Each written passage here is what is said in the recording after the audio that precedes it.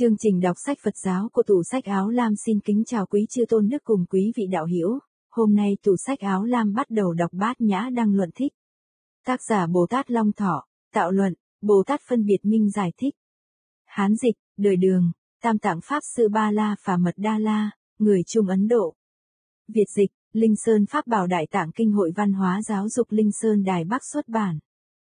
Kính thưa quý chư tôn đức cùng quý vị đạo hữu, tủ sách áo lam chúng con phát nguyện đọc hàng ngàn cuốn sách Phật giáo để góp phần lưu truyền chánh pháp đến với người hữu duyên. Chúng con kính xin quý vị vui lòng trợ duyên cho chúng con bằng cách subscribe, like và chia sẻ xe video này đến với mọi người. Xin vui lòng xem toàn bộ link ở dưới phần mô tả tức video description. Sự yểm trợ của quý vị là động lực giúp chúng con sớm ngày hoàn thành tâm nguyện.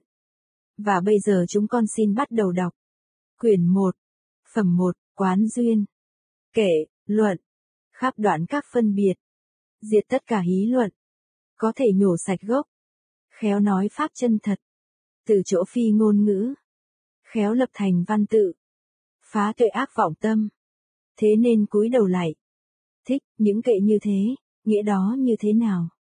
Đó là nghĩa thật được mở bày từ sự kiềm nghiệm chân lý ở trong bát nhã ba la mật sâu xa, mà bậc thánh thầy của chúng ta đã tự chứng đắc để đoạn các lưới ác tà tuệ. Cho nên, người ác kiến dù có tu phạm hạnh nhưng vì mê hoặc nên đều thành bất thiện. Vì thế này muốn khiến họ hiểu rõ chánh đạo, nương A Hàm một cách thanh tịnh mà làm trung luận này, tuyên bày thông suốt lời Phật. Nội dung và mục đích tạo luận này như thế nào? Nghĩa là Đức Thế Tôn, bà già bà thấy chúng sinh vô minh ở thế gian bị hủy hoại bởi các rừng rậm hí luận của khởi, diệt, đoạn, thường một, khác, đến, đi vân vân. Nên trước hết khởi y tâm bi thương xót, phát trí tuệ dũng mãnh, trong vô lượng ức trăm ngàn câu chi na do tha kiếp, làm lợi ích mọi người mà xả bỏ thân mạng, tâm không hề mệt mỏi, có thể đảm nhận vô lượng tụ phước tuệ, có thể đảm nhận khéo vượt qua biển cảnh giới bát, đoạn tất cả lưới hí luận, chẳng phải duyên khác không phân biệt, được cam lồ chân thật của tất cả pháp, ở nơi các cõi kia thọ mạng phân đều, tánh xứ thời bình đẳng mà nhiếp thọ lợi ích. Lại Đức Thế Tôn không cùng tất cả thanh văn duyên giác và các ngoại đạo mà chỉ vì tiến đến đệ nhất thừa nghĩa là nương vào thế đế, đệ nhất nghĩa đế để thiết lập các cú danh tự của không, khởi, diệt vân vân. Đây chính là nghĩa thù thắng nhất trong các thuyết về duyên khởi, thật. Bậc A xà lê của chúng ta cũng đối với các văn cú không khởi kia mà mở bày các đạo lý thật của Như Lai được hiểu như thật, lại sinh tâm dũng mãnh tột cùng như chỗ thông suốt mà khen ngợi Đức Thế Tôn. Vì thế cho nên tạo luận này, lại tâm thấm đượm từ bi với những điều đã hiểu qua kiểm chứng cũng muốn thế gian đồng những gì mình đã được giải thoát, cho nên luận chủ thốt lên lời kệ trên như kệ nói. Không diệt cũng không khởi. Không đoạn cũng không thường. Chẳng một chẳng nhiều loại. Không đến cũng không đi. Duyên khởi, hí luận dứt. Nói ấy khéo diệt vậy. Nên lễ Đức Thế Tôn, bà già bà. Tối thượng trong các thuyết. Thích, về câu, Nghĩa kia thì thứ tự nhưng hiểu thì không gián đoạn mới có thể giải thích được nghĩa của luận này.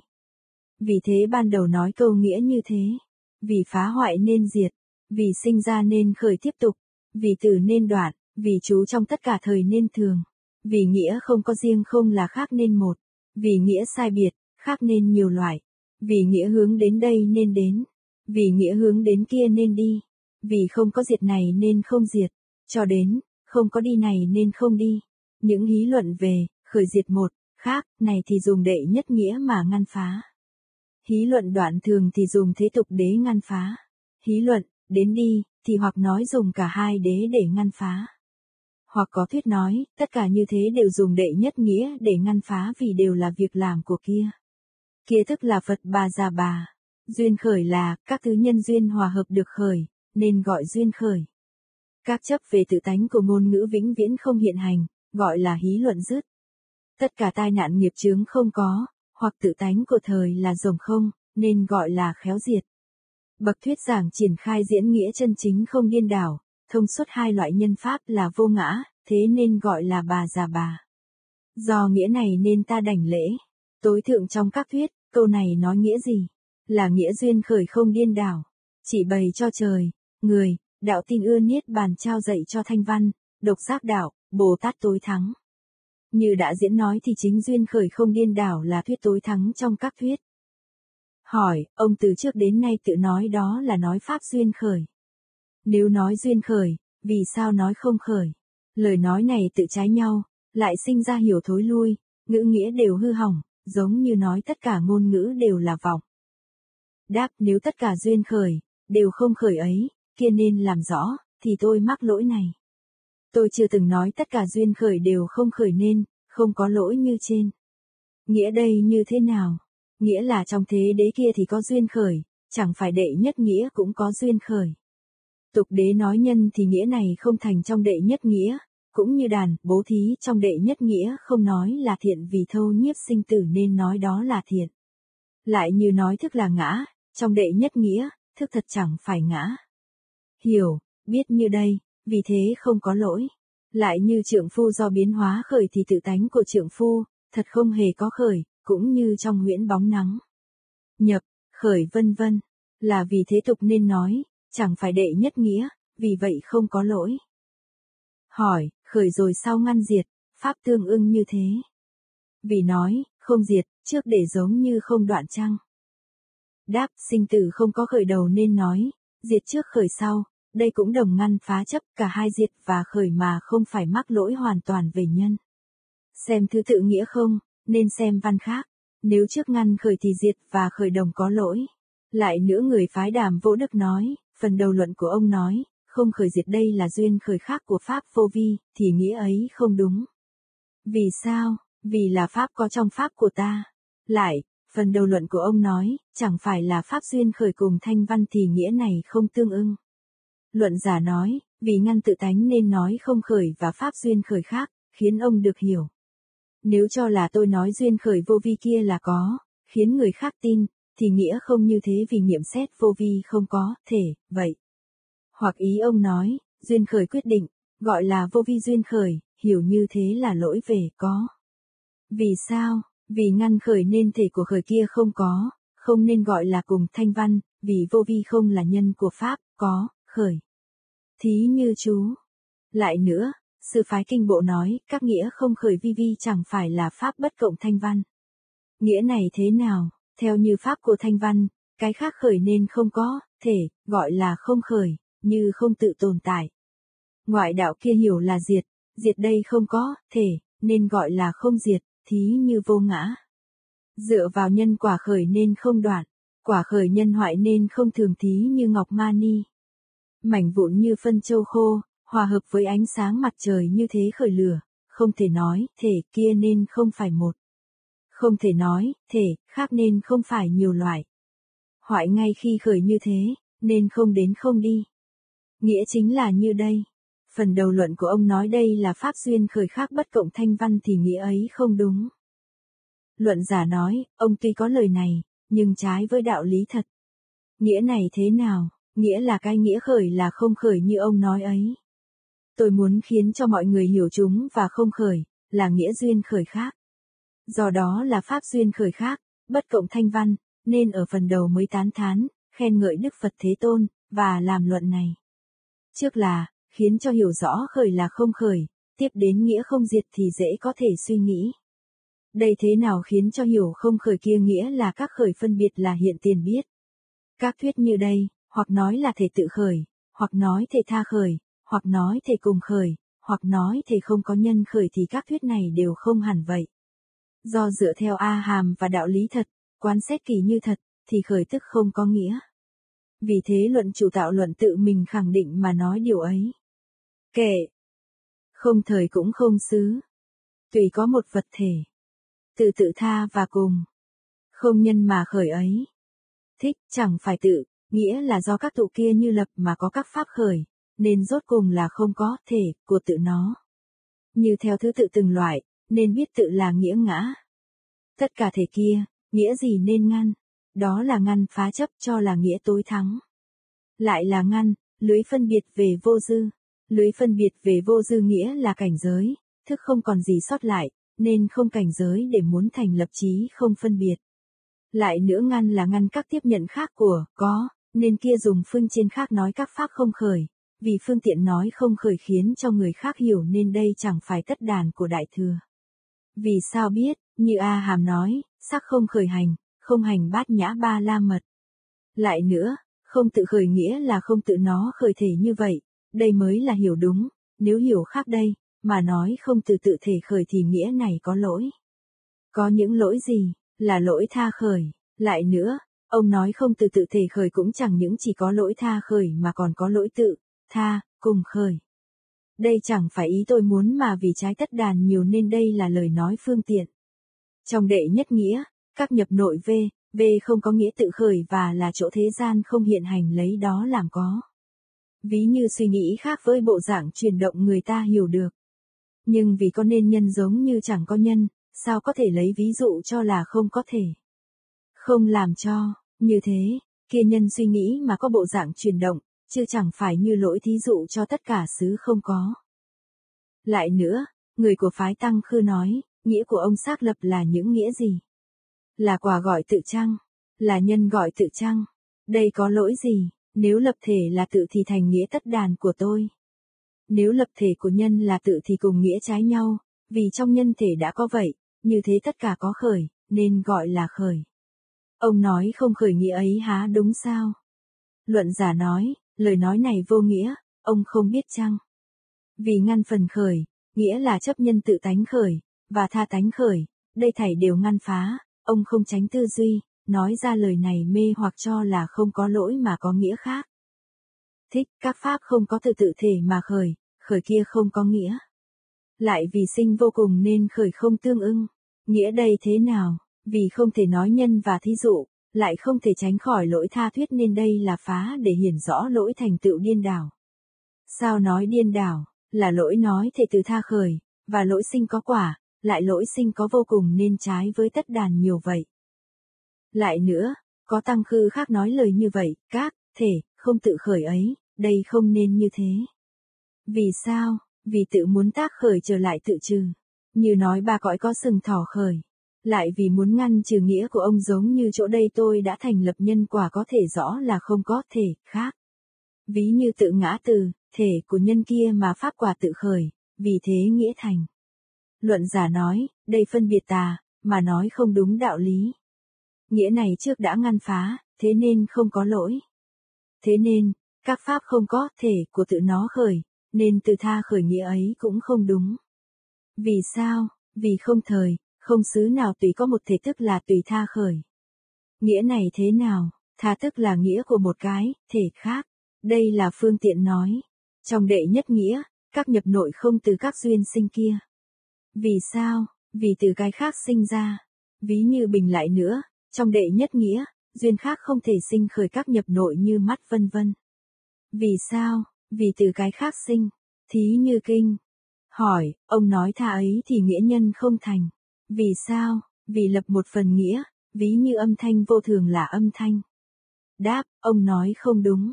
Âm thanh vô thường chính là âm thanh vi đà. Vì âm thanh nên là âm thanh của trống. Dùng đó kiến lập một phần nghĩa nêu ra nhân thì thành tựu chứ chẳng phải nói một bên. Lại nữa, người của tỷ thế sư nói, vi trần là nhân, sinh các pháp quả, hai thứ vi trần kia làm ban đầu. Như thế thứ tự các tụ đất, nước, gió, lửa thật khởi thành. Ông nói tha là phân biệt nghĩa nhân cầu na của tôi chẳng hay là phân biệt nghĩa khác. Nếu phân biệt nghĩa cầu na của tôi làm nhân, thăng hoa nhân không thành.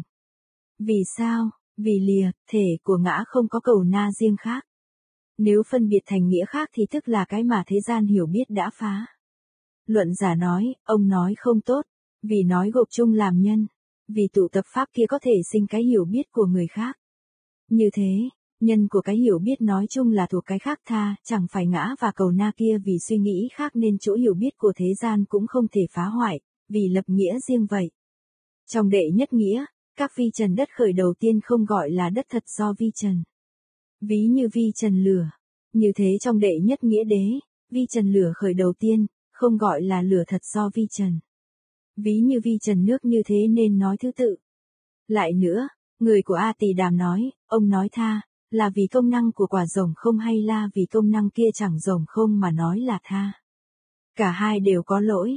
Vì sao, nếu cho công năng của quả rồng không nói là tha thì nghĩa nhân không thành. Nếu cho công năng kia chẳng rồng không thì kia có thể thành cái, không của pháp thí dụ như phá hoại. Luận giả nói, vì nói chung tụ pháp, vì quán biên hạn của vật, vì sinh cái hiểu biết của người khác, cho nên, Ông nói nghĩa nhân không thành, và có thể thành cái không của Pháp, thí dụ như hoại thì tôi không có lỗi ấy. Giống như ánh sáng và bóng sáng thôi. Lại nữa, có tự bộ nói, nếu trong đệ nhất nghĩa, các nhập nội ngoại kia đều không khởi thì, thể, Pháp không thành, có thể hỏng y chỉ, ông mắc lỗi nghĩa nhân không thành vậy. Luận giả nói, theo ngôn thuyết thế tục mà nói thì có khởi thật như các nhập nội ngoại là mắt, bình vân vân. Đều được, ông nói lỗi ấy, đây không tương ưng.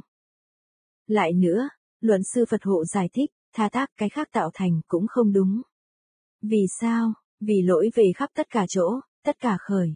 Luận giả nói, lỗi kia không giống như đây nói, tức là sở thành năng thành điên đảo. Nghĩa là có lỗi thể từ nhân của tự nó và cả hai tự tha khởi.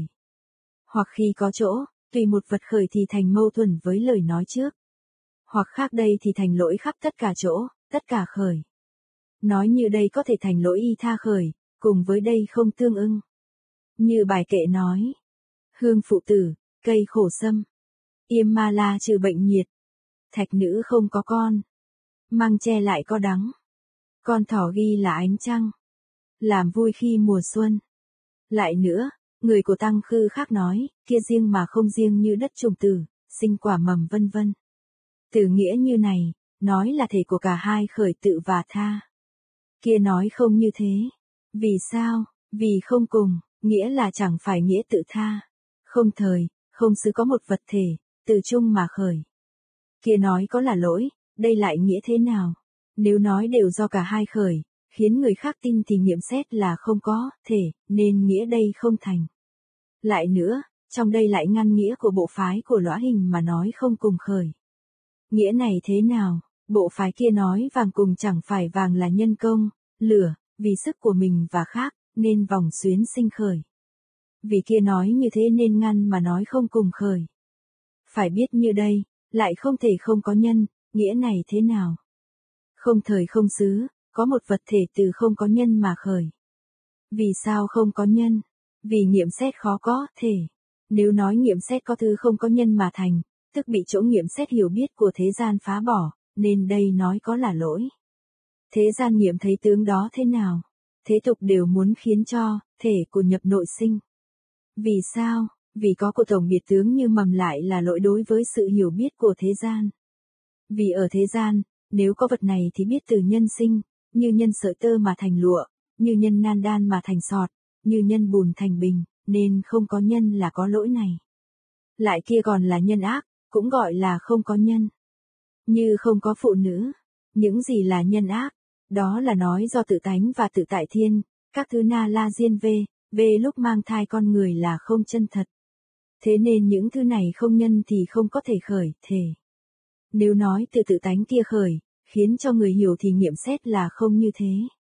Nếu nói nghiệm có thì đây cũng có lỗi. Lại nữa, người chấp tự tánh, nói thế này, tôi lập nghĩa này là tự tánh có sinh các nhập nội vân vân.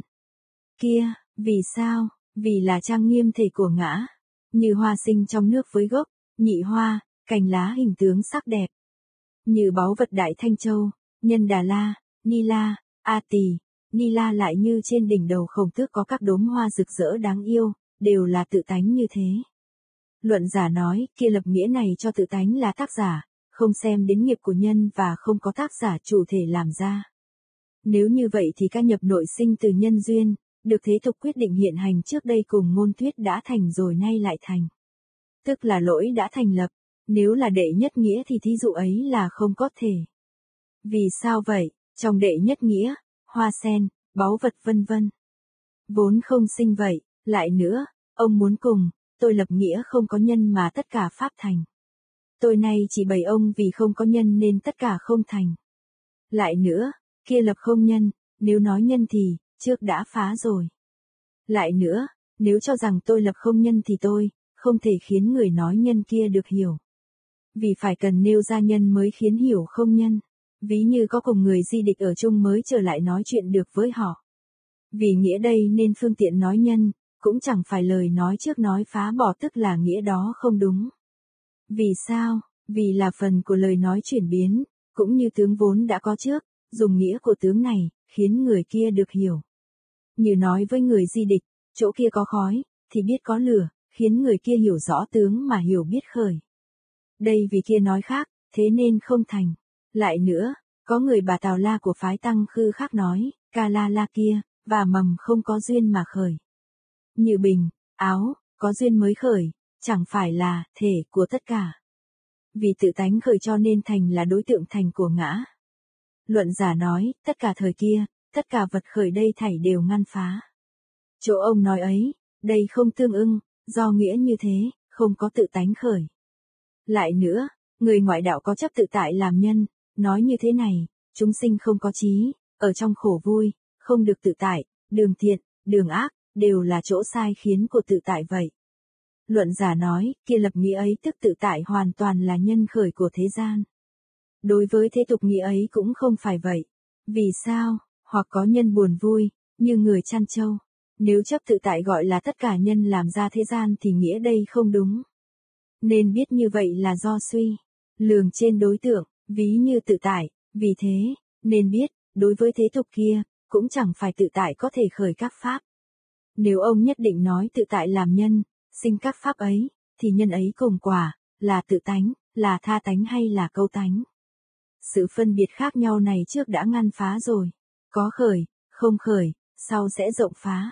Trong đệ nhất nghĩa, tự tại không thể khởi các pháp vậy. Hoặc có nói, chúng sinh thế gian và khí thế gian do nhân các thứ nghiệp, là tự tại nên chúng chú khởi hoại, khổ vui tăng giảm, chung lấy nghiệp làm chỗ nương tựa. Người nói như thế trở thành đối tượng thành tựu của ngã.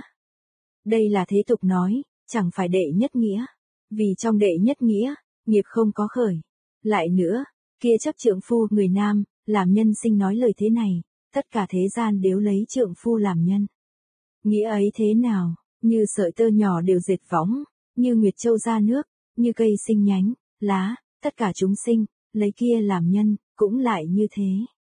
Chỗ nói quá khứ, vị lai, lay động không lay động, trong ngoài xa gần, tất cả như thế, đều lấy trượng phu làm nhân. Luận giả nói, trước chấp tự tại làm nhân, trong phần ấy đã ngăn phá này nay sẽ nói lại. Ví như ngã của điều đạt, không làm nhân kết tụ thành thân căn của điều đạt. Vì sao? Vì là ngã ví như tự ngã của gia nhã đạt đa tự. Lại nữa tụ thân căn của gia nhã đạt đa chẳng phải chỗ làm của ngã mới gia nhã đạt đa. Vì sao? Vì kia là nhân cho khởi trí khổ vui. Ví như thân căn của đề bà đạt đa tích tụ. Hoặc nói kia trói buộc ngã làm nhân của ba cõi, nhưng chẳng phải tất cả thì nghĩa đây không đúng. Vì sao? Do thuộc là ngã nên như giải thoát, kia chấp không thành tức lỗi lập nghĩa. Hỏi, ông nói vì ngã nên là nhân tức trong đây nghĩa đã tự lập. Vì là một phần nên, ông nêu ra nhân nghĩa ấy không thành thì có lỗi lầm. Đáp, không có nghĩa lỗi lầm, trước đã nói. Vì sao không lỗi, như trên nói, âm thanh của âm thanh vô thường, ví như tiếng trống. Hoặc có người nói, nghĩa của tôi lập chỉ là, một ngã, như một hư không mọi phân biệt bình vân vân. Đều là những thứ mượn tạm dựa vào nên vô lượng. Vì nghĩa đây nên ví dụ là không có, thể, nghiệm phá không thành, lập nghĩa không có lỗi. Luận giả nói, ông không khéo nói. Nghĩa này thế nào? Vì hư không không có sinh như thể của hoa đốm giữa hư không là không thể có được. Như thế nếu nói, một hư không thì nghĩa ấy không thành, chỉ có nói năng, trong pháp thế tục. Nói chung ngã ấy là mượn để chỉ thị khiến cho nhận biết, ông lập một ngã, khiến người khác tin, nghiệm xét thấy không có thể, nên nghĩa đây không thành. Hỏi, ngã bị trói ngã được cười lại không có, thể khác. Vì sao? Vì do là ngã nên như ngã giải thoát. Đáp, trong cảnh giới niết bàn vô dư, có một ngã giải thoát, thì điều ấy không thành, như trước đã nói lỗi không thể tránh. Như quán phẩm ngã, sẽ giải nói rộng. Lại có người tăng khư nói, như tôi lập nghĩa, tự tánh kia làm nhân. Nghĩa là phạm ma là ban đầu, sau đến chú chỉ trong thời gian đó quả của các pháp sinh, đều nhân nơi tự tánh. Như nhập nội kia là nhân, nhân tạo các quyết định của khổ, vui, si. Vì nó vốn có đủ công năng làm nhân, hoặc như vật ở thế gian, người kia có đầy đủ, ta biết người kia là nhân. Như thẻ gỗ chiên đàn, như mảnh đồ gốm, vật trang sức bằng vàng những thứ như thế là nhân chung riêng vậy. Do đó các nhập nội kia vốn có đủ buồn vui si nên nói nó là nhân của khổ, vui, si. Như thế, nên biết sắc, tưởng, hành, thức các ấm đều là tự tánh của vui khổ si vì sao? Do ấm, thí như thọ ấm, vì thế nhân và nghĩa thí dụ như kia đều được thành. Luận giả nói, vì làm như thế, nên trong đệ nhất nghĩa các thí dụ, chiên đàn không thành, do không có thể. Đối với thế tục, người si ấy thuộc về hành ấm nên thí dụ không thành, khổ, vui kia, với các pháp bên ngoài khác, chẳng phải tự tánh của khổ vui, nên biết như thế. Vì sao? Vì chỗ suy lường, ví như nghiệm xét biết là không tương ưng. Hỏi, trong đệ nhất nghĩa đế của ông, không có thí dụ ư? Đáp, nói chung vì hiểu biết nên thế gian cùng hiểu thì làm ví dụ, cũng chẳng phải thí dụ không có thể. Vì nghĩa ấy nên tàng kia không làm nhân chắc thật của đại vân vân. Do không rõ ràng, ví như trượng phu, nếu ông muốn nói tự tánh là nhân thì tự nghiệm mà phá. Người ngoại đạo nói, tôi lập trượng phu, cùng suy nghĩ tương ưng, thì được rõ ràng, nhưng lại nói do không rõ nên nhân này không thành. Lại có thể thành pháp vì không đầy đủ nên cũng lỗi thí dụ. Luận giả nói, lời kia vô nghĩa, đây lại thế nào? Vì nói chung là nhân lập nghĩa riêng nên khắp nơi không rõ, chung một không thành. Hoặc có nói rằng cũng không phải không có nhân mà có thể khởi các pháp và tánh thời của chúng vì các na la diên là nhân vậy. Nên biết như trong phần ngăn chấp tự tại ở trên đã nói.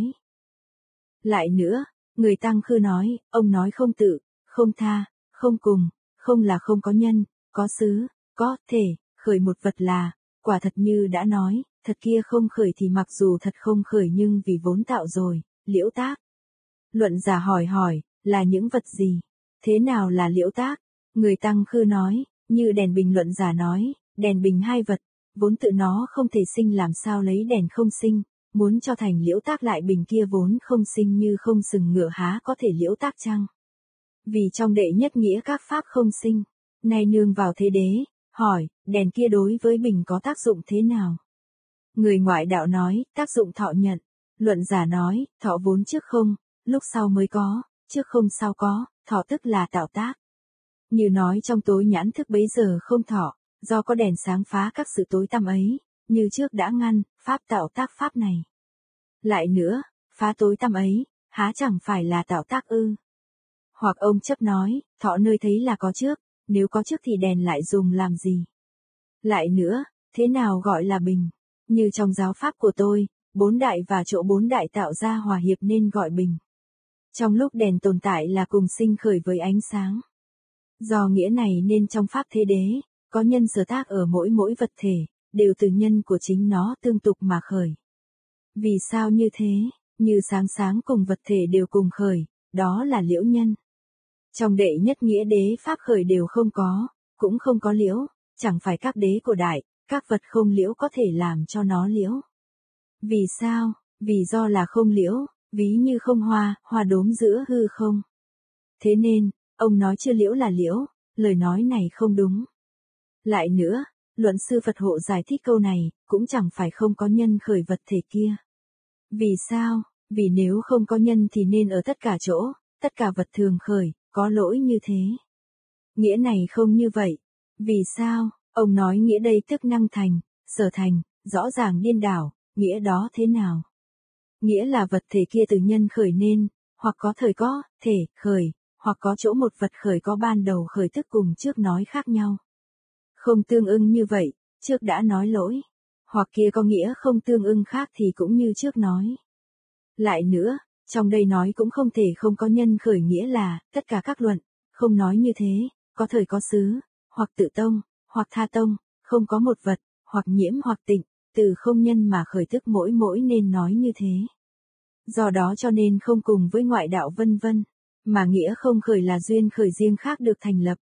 Lại nữa, người thuộc A Tỳ Đàm nói, có bốn thứ duyên, năng sinh các pháp, vì sao mà nói duyên khởi không khởi.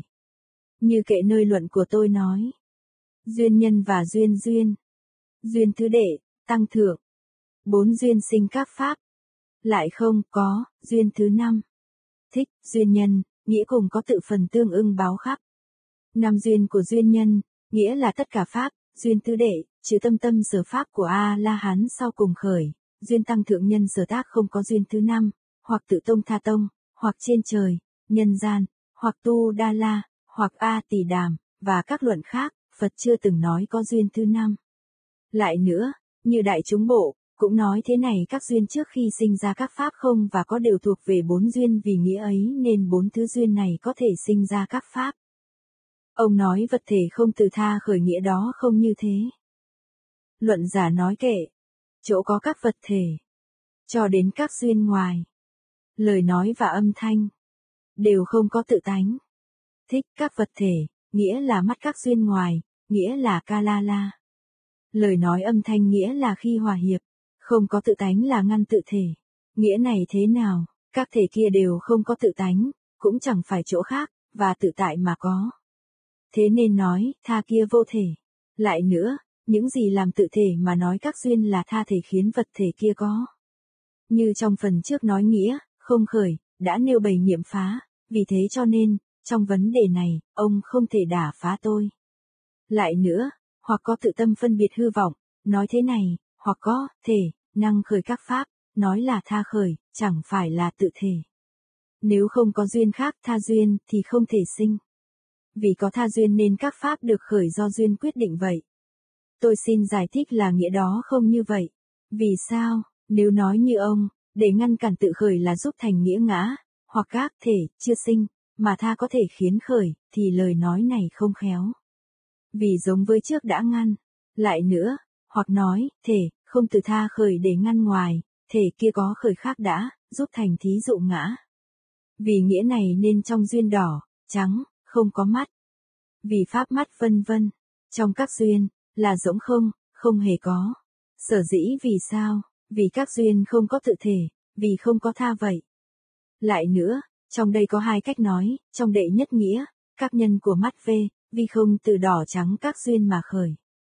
Vì sao, mắt không có như bình. Trong đệ nhất nghĩa các duyên đỏ trắng, không có công năng của nó, sinh các nhập của mắt vì sao? Vì mắt kia hoàn toàn không, ví như dao cắt phải. Thế nên, Phật dạy, trong đệ nhất nghĩa, nhân và các duyên không thể sinh ra mắt. Như thế nên biết, Đức Phật vì thương xót thế gian chấp trụ trong trí tuệ rối loạn và các tranh luận về nhân ác, không nhãn. Nghĩa là nói theo thế đế thì có duyên nhân, duyên tứ đệ, duyên duyên, duyên tăng thượng. Vì duyên ấy nên, nghĩa ngã không phá. Nên biết như thế, lại có người phân biệt sai khác nói, thì từ tha khởi. Luận giả nói, kia cùng ở đây. Lại nên suy nghĩ, trong bốn duyên ấy làm sao là các thể năng sinh mắt vân vân. Mà còn lại có tên gọi sai khác, như đại chúng bộ và tỷ thế sư, họ phân biệt duyên kia, kia cũng là tùy tướng, thì cũng đều tùy thuộc về bốn duyên này.